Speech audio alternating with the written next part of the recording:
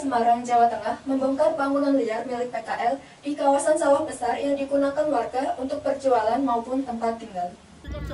Satpol PP Kota Semarang, Jawa Tengah membongkar bangunan liar milik PKL di kawasan sawah besar yang digunakan warga untuk perjualan maupun tempat tinggal. Satpol PP Kota Semarang, Jawa Tengah membongkar bangunan PKL di sawah besar pada Kamis 25 Maret 2021.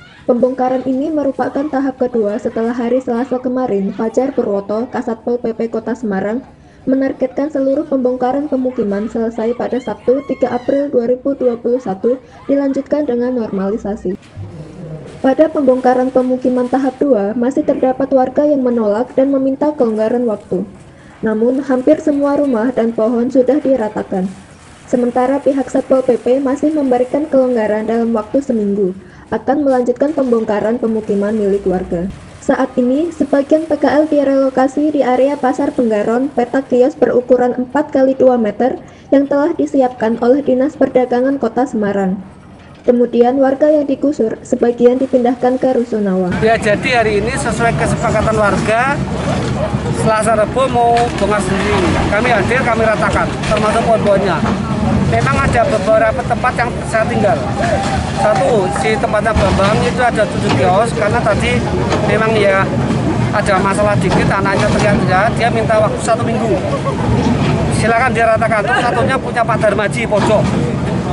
Jadi dua orang ini mas, Bambang itu tujuh karena tadi non teknis, anak bunga-bunga, minta seminggu.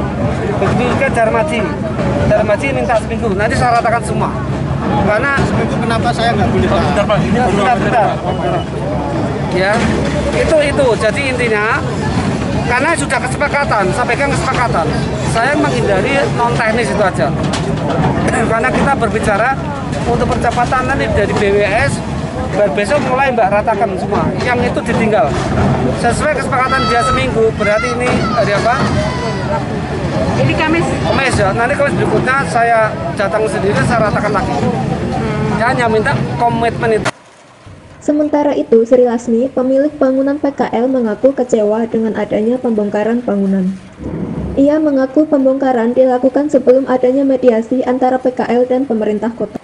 Satpol PP, Ketua Satpol PP bilang begini, kan kita langsung dialokasikan mau tidak mau ke Garon sama Dargo, rencananya bilang itu, tapi, tapi kami dipaksa untuk pokoknya harus mau menerima apa?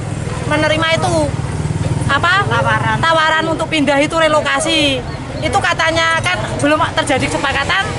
Ketua Satpol PP bilang apa? Nanti kita media, mediasi ternyata belum mediasi hari apa itu langsung langsung kita dihabiskan ya langsung kita dihabiskan itu sama sekali di sini tidak ada hati sama sekali di dalam rapat tuh kita dapat undang beberapa kali itu dari kelurahan kecamatan itu memaksa memaksa kita tetap mau relokasi tanpa ada persetujuan dari kita gitu loh kalau taunya orang atas kita itu arogansi padahal ya arogansi itu ya ya kelurahan sini sama aparat-aparat itu. Oh. Ya seperti itu.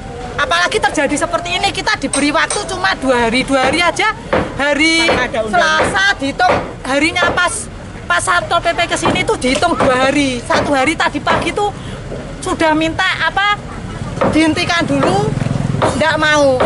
Karena ada Pak Yulianta itu kita dapat satu minggu lagi. Tapi sebagian sudah banyak yang hancur. Oh gitu Pembongkaran bangunan PKL di kawasan sawah besar dilakukan untuk normalisasi kawasan bangunan liar yang telah melanggar peraturan dan rencana normalisasi kali es.